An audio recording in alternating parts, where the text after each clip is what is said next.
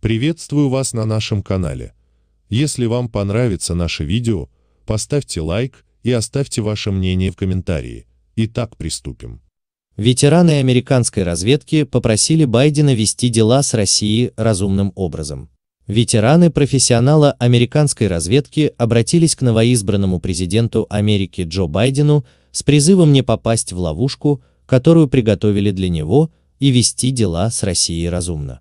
Ветераны о фабрикации данных о разработке ядерного оружия в Ираке, после чего Джорджем Бушем было принято решение развязать войну в этой стране, об отсутствии доказательств российского вмешательства в американские выборы и другом. Приводим письмо полностью. Уважаемый избранный президент Байден, обмани меня единожды звездочка. Вы можете вспомнить, что президент Джордж Буш, сын СД, не мог вспомнить последнюю часть этого афоризма. Ну, это не важно. Оказалось, что в отношении Ирака Буша обманули неплохие разведанные.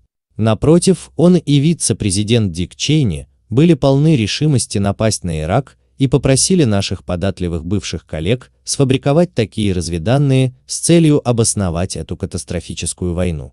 Это было настолько плохо, что председатель Сенатского комитета по разведке Джей Рокфеллер описал довоенные разведанные как ничем не подкрепленные, противоречивые или даже несуществующие.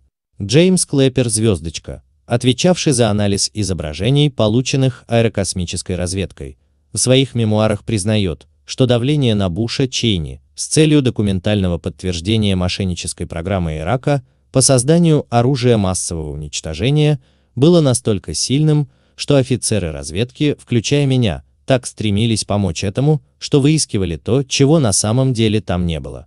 Эта группа офицеров разведки, в первую очередь директор ЦРУ Джордж Тенет, и его протеже Майкл Морел сумели закрыть глаза достаточному количеству членов Конгресса, чтобы смазать салазки никому не нужной войны. Многие из последних руководителей разведки поднялись по карьерной лестнице в обмен на услуги, оказанные при податливом Тенете, и, похоже, переняли его гибкое отношение к истине.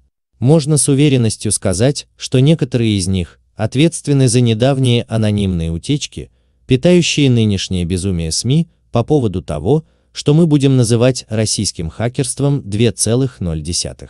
Мы призываем вас не попадаться на эту же удочку, тем более, что на этот раз мишенью стала Россия. Российское хакерство 1.0 – доказанное мошенничество. Возможно, вы не знаете того, что показания из первых уст, данные 5 декабря 2017 года Комитету по разведке Палаты представителей, опровергли утверждение, все еще широко воспринимаемые потребителями крупных СМИ, как «Евангельская правда», о наличии убедительных технических доказательств того, что Россия взломала электронную переписку Национального комитета Демократической партии, опубликованную Wikileaks 22 июля 2016 года, доказательств этому нет. Мы, ветераны профессионала разведки за здравомыслие перед войной в Ираке, писали президенту, чтобы сообщить ему о том, что наши бывшие коллеги легкомысленно и безответственно играли с теми разведанными, которые были выдуманы для обоснования вторжения. Когда этот болезненный опыт остался позади, стало нетрудно распознать ложь о том, что Россия взломала электронную почту Нацкомитета Демпартии. Четыре года назад мы предупреждали в довольно технических, но легко понимаемых выражениях то, почему предполагаемый взлом России Нацкомитета Демпартии был бы невозможен без того, чтобы его не обнаружило Агентство национальной безопасности. Нам помогли откровения Эдварда Сноудена, опыт двух бывших технических директоров АН, членов ВИПС и, что немаловажно, применение принципов науки, которые, слава богу, не поддаются политическому давлению.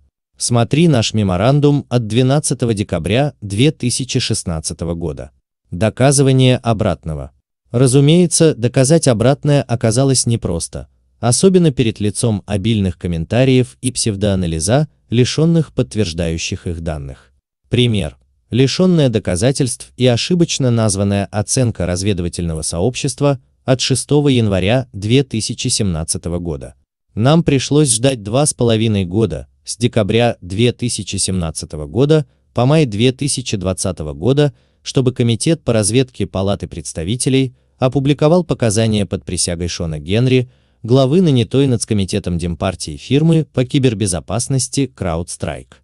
По причинам, лучше известным бывшему директору ФБР Джеймсу Коми, ФБР поручила CrowdStrike провести криминалистическую экспертизу того, что сенатор Джон Маккейн назвал актом войны со стороны России. Вкратце, три года назад Г.Н. Генри под присягой признал, что не было никаких технических доказательств того, что Россия или кто-либо еще взломал нацкомитет Демпартии и перехватил те, нанесшие ущерб, электронные письма.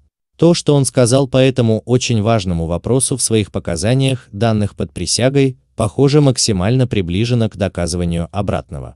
Если для вас это новость, то, пожалуйста, обратитесь к вашим консультантам. Возможно, неудивительно, что крупные средства массовой информации скрывают эту новость с мая. Однако мы были бы разочарованы, узнав, что никто не счел необходимым рассказать вам о показаниях Шона Генри.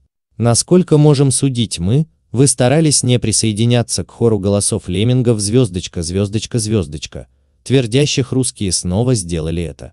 Чтобы по-новому взглянуть на нынешнее безумие СМИ, вы можете просмотреть опубликованную в пятницу утром статью о русском хакерстве 2.0 и о том, что, как кажется, готовится. Мы надеемся, что вы и дальше будете избегать попадания в мышеловку, которую для вас устроили для того, чтобы вашей администрации было сложнее вести дела с Россией разумным образом. Есть очень много людей в разведке, СМИ и военной промышленности, которые полны решимости сделать все, чтобы у вас не заладились отношения с президентом Путиным, по причинам, которые станут для вас очевидными. Мы готовы поддержать вас объективным анализом на основе принципа «рассказывай как есть». Наш послужной список говорит сам за себя. Ссылки на предыдущие меморандумы ВИПС, начиная с нашей критики выступления Колина Пауэлла в ООН незадолго до войны в Ираке, в тот же день, когда это выступление имело место, можно найти по ссылке. От руководящей группы. Ветераны профессионала разведки за здравомыслие. Ульям Бини, технический директор подразделения геополитического и военного анализа АН, соучредитель автоматизированного исследовательского центра электронного перехвата в отставке Вильям Бини, Technical Director, World Geopolitical and Military Analysis, NSA, Co-Founder, Syngenta Automation Research Center, Маршал Картер Трип, ветеран дипломатической службы, начальник отдела Бюро разведки и исследований Государственного департамента в отставке, маршал Картер Трип, Foreign Service Officer and Division Director, State Department Bureau of Intelligence and Research, Майк Гревилл, бывший адъютант, офицер по контролю за совершенно секретной документацией и работами службы радиоэлектронной разведки, специальный агент Корпуса контрразведки армии США и бывший сенатор США Майк Гревелл. Спасибо за просмотр. Поддержите нас подпиской и лайком. До новых встреч!